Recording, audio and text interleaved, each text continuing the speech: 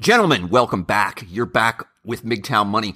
Who else wants to make more money and be smarter? That's today's topic. Before we get to that though, big sincere thank you to all the newest Patreon supporters of this channel, specifically Ace, Derek. Thank you guys very much. Thank you to all the Patreon supporters of this channel. And of course, those of you who are not Patreon supporters, please consider doing so. If nothing else, simply buy me a cup of coffee. See the video description. You can do so via PayPal. Let's roll on today's topic. Gentlemen, I know that 80% of you, four out of five of you, are not book readers. In other words, you probably haven't picked up a book since you were in school. And even if you are in school, the only time that you're reading a book is when you've absolutely been forced to, when it's been assigned to you and your arm has been twisted and you're being tortured essentially to read a book. All right, look, I get it. And I know that there are multiple reasons why you're not reading books, at least on any sort of consistent basis whatsoever. So I want to talk about that right now because I do have some reasons and some ideas, some thoughts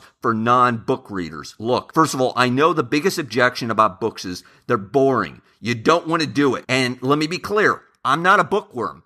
I'm not a guy who spends hours every single day reading hundreds and hundreds of books. That's not me. And I'm also not a guy, frankly, who's sitting there and suggesting to you, most importantly, that you reading the ancient Greeks or Shakespeare or Dostoevsky or John Milton or, or some hard turgid type material. Let me give you an idea though, gentlemen. Go into your local bookstore, go into your local library for 15 minutes. One five, gentlemen, 15 minutes. Go in there for 15 minutes and just walk around. I promise you, no one's going to say anything to you. You won't be an imposter. It's okay. Just walk around randomly because they've got all these different sections. They've got sections on sports, on basket weaving, on dogs, on car racing, on automobile repair, on history, etc., science, etc., etc. The point is, just start walking around randomly, go to a section that you might have some weird interest in, and just start picking up books randomly.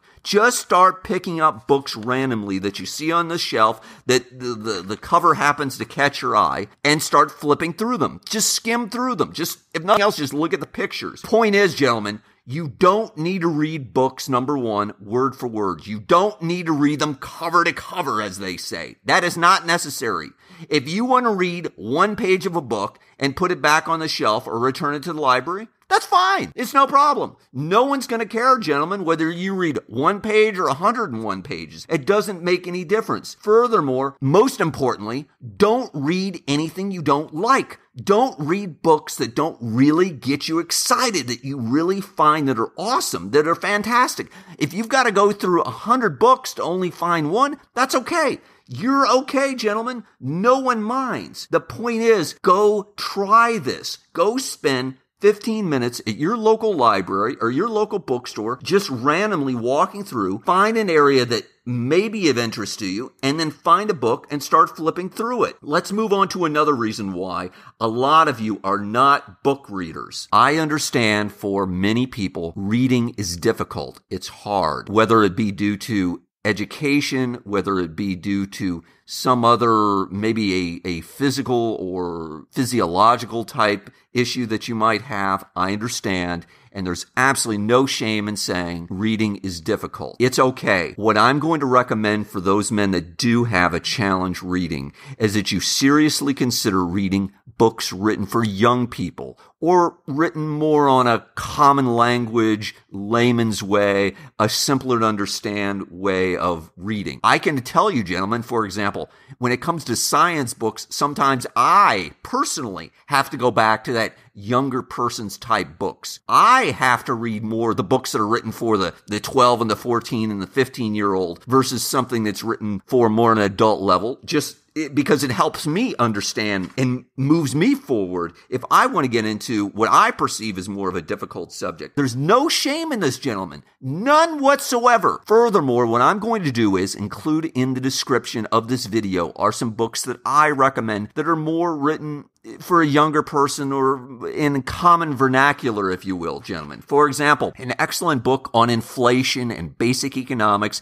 and he's written a series of these books. They're called the Uncle Eric books. Richard Maybury, I have nothing to do with him whatsoever, but he's written a series of very simple to follow, understand books on economics, uh, and one of his excellent ones on inflation is What Happened to Penny Candy. I'll include a link to the description. You might want to check it out from Amazon.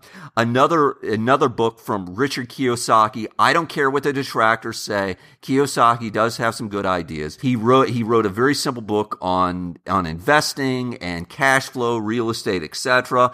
Again, this is geared toward children, but again, there's nothing wrong with that whatsoever. That's not, it's, it's, certainly something that many of us, I can assure you, can probably benefit from. Another book, of course, or a series of books has been written by Dave Ramsey. As many of you know, or may not know, Dave Ramsey is a nationally syndicated radio talk show host in the United States. He does shows on personal finance. Terrific job, terrific advice, generally speaking. I'll include a link to some of his books. These books are very easy to follow, easy to understand. I highly recommend those as well.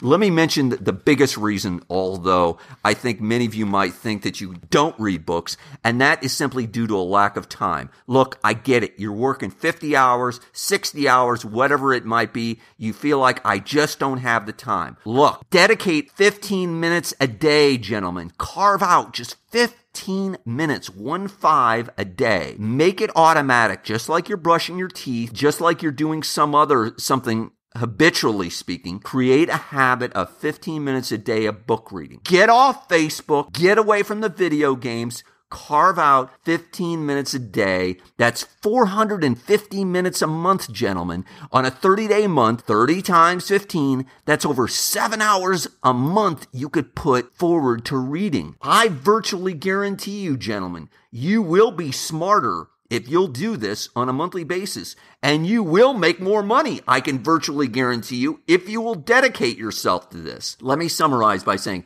gentlemen, I know even if you don't like book reading, it's because you've been going about it all wrong. And that's because you've not been reading books that you really want to read that get you excited. I highly encourage you start seeking out books that you want to read. Don't feel like you need to read them cover to cover. Even if you just read a couple of pages and you put it back, that's fine. No harm, no foul. My maternal grandfather, my father's, my mother's father was a third grade educated union laborer who, guess what? He was a lifelong reader, gentlemen. He loved reading. I swear that guy read more books probably in his life than I will ever read in my life. He was reading all the time. I'm telling you, you can do this, gentlemen. And I can virtually guarantee if you will do this, you will make more money and you will have a better life. Gentlemen, as always, I hope you found that helpful. Hit the like button if you haven't already. Hit the subscribe button if you haven't already. As always, John Galt out.